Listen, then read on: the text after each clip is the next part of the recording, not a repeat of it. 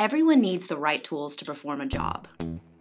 Chairs for employees who work at desks, ladders for roofers who need to get on top of a house, even lunch breaks for people who need food to get through the day. You know, like we all do. It makes good business sense to have a workplace that accommodates everyone's needs. And laws like the Americans with Disabilities Act, the ADA, and the Rehabilitation Act are there to make sure workers with disabilities are accommodated too. So, what kind of accommodations are we talking about? Special privileges for special people, right? Gold plated hover chairs? Train seeing eye unicorns? Not even close.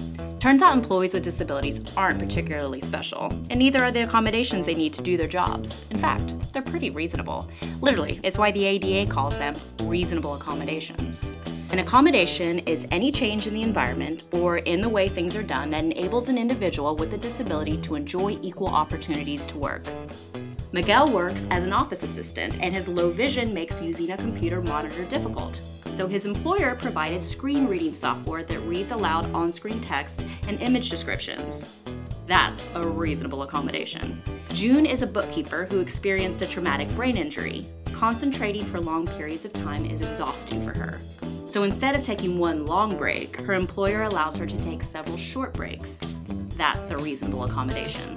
And according to the Job Accommodation Network, JAN, the majority of workplace accommodations, 59%, cost absolutely nothing. But if there is an expense, there are tax credits and other incentives out there to support businesses in creating a more accessible workplace. So, how do you go about getting a reasonable accommodation?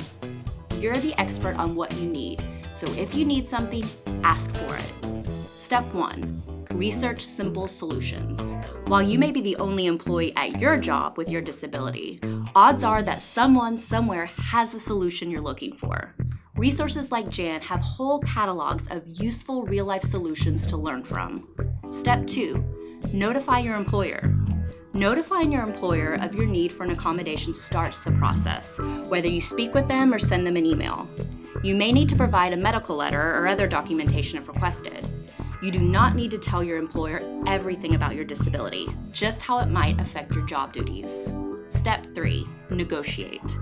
Finding the right accommodation is not a one step process, it's an interactive back and forth conversation. Your employer may propose a different accommodation than the one you suggested. Consider whether their idea would be effective, or make another suggestion. And you may need to propose more than one accommodation before finding the one that works for everyone.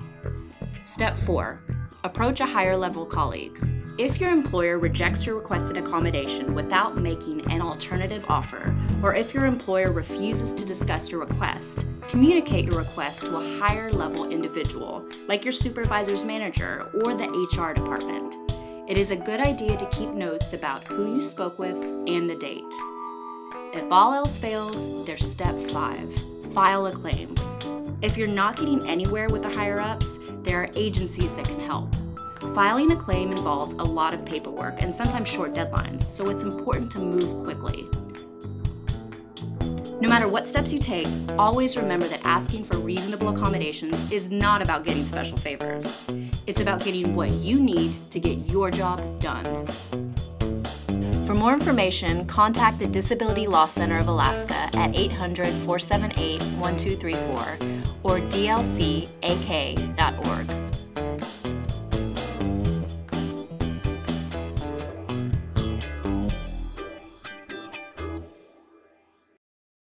Produced by Rooted in Rights.